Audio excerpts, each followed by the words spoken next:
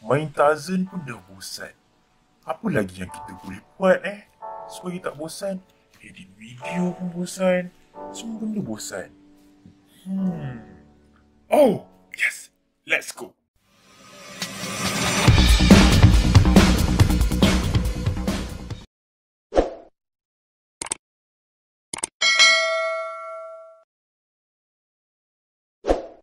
Hey, what's up guys? Assalamualaikum warahmatullahi wabarakatuh. Terima kasih kepada semua kerana masih sudi bersama dengan kami untuk anda bosan? Ha, jom part 3 bersama dengan saya, Yamin. Dan sebelum ni anda dah bersama dengan Zahira untuk part 1 dan Aslam untuk part 2. Jadi untuk kali ni, untuk part yang ketiga, anda akan bersama dengan saya. Jom! Baiklah, yang pertama saya nak tunjukkan berkenaan dengan Thanos. Okey, bila kita buka Thanos dan paparan ini akan muncul. Jadi apa yang perlu kita buat? Kita tekan tangan ni.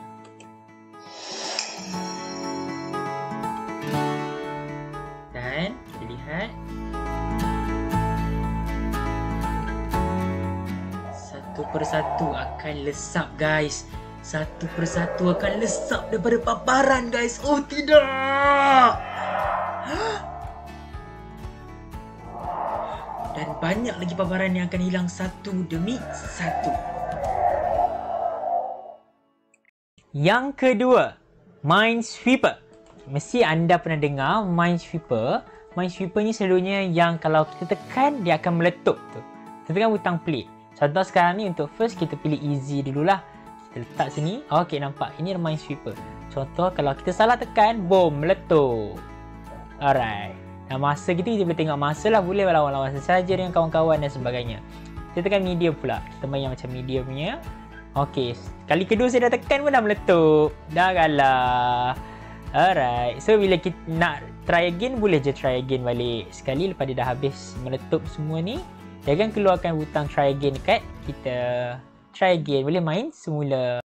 Yang ketiga, Pac-Man. Mesti ramai pernah dengar kan dengan Pac-Man.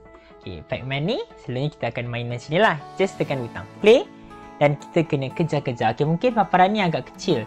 Jadi macam mana tekan control dan main dengan mouse anda. Jadi anda dapat zoom dia lah. Okay, so cara dia sekarang ni kita perlu tangkap. Makan makan cherry yang ada dulu. Uh, cepat lari. Kita yang warna kuning tu. Okay. Sekarang kita di sini. Okay. Cepat-cepat makan. Okay, dapat extra mark. Okay, sekarang bila dia dah berwarna biru, bila kita dah dapat cherry, kita boleh makan dia. Kita dah makan cherry dan sebagainya. Ah, kita dah mati. Sepatutnya bila dia berwarna biru, kita boleh makan dia. Tapi tak apa, kita akan ada banyak kali try. Kita boleh try lagi. Contohnya bila kita dapatkan yang ni. Okay, dia akan jadi biru dan kita boleh makan dia. Nyam. Ya. Yeah. Okay. Okay, dah tak boleh. So, kita lari. Itu saja untuk Pac-Man. Yang keempat, Basketball 2012. Basketball 2012. Apa yang kita perlu buat? Tekan link yang paling atas yang ada Google ni. Dan kita boleh main sebenarnya game ni waktu tahun 2012 lagi lah. Tekan butang play dan kita akan shoot. Satu, dua, tiga, shoot! Tekan space untuk shoot. Masuk! Satu, dua, tiga, shoot. Masuk, yes! Masuk lagi, yes! Masuk. Oh, bolos. Tidak. Kita boleh cuba lagi. Jangan risau. Jangan stres.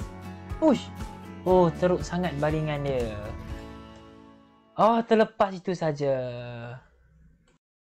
Yang kelima, T-Rex Rush. Selalunya kita dah pernah main waktu kecil lagi. Dan selalunya kita akan main ni waktu wifi tak ada lah. Selalunya bila wifi connection lost dan sebagainya kita akan main ni. Jadi cara nak main ni tekan dia dan kita akan tekan space lah. Uh, untuk ni mungkin dia akan terlalu bergerak sikit. Dia agak degil tapi tak apa. Oh mati dah. Okay, kita boleh tekan replay semula. Jadi kita main dia. Sebab ada ads kat bawah ni sebab selalunya kita akan main ni dalam paparan offline. So ads semua tak ada. So dia senang lah tapi, tapi lebih kurang macam ni kalau nak main online dia akan jadi macam ni. Alright guys, tak nama Yamin lah kan kalau tak ada extra. Jadi extra untuk video kali ni, saya nak tunjukkan kepada anda Google Underwater. Nampak ada ikan banyak kat sini? Okay, kalau saya tekan enter dekat button search ni, lagi banyak ikan keluar. More fish please, more fish please. Okay, saya letak gambar saya kat tengah-tengah ni. Ikan saya. Ikan-ikan jangan makan saya. Jangan. Jadi kalau anda ada rasa bosan, anda mainlah benda-benda ni supaya anda tak bosan lagi selepas ini. Ingat, supaya anda sentiasa happy selalu. Sekian, terima kasih. Jumpa lagi. See ya. Assalamualaikum.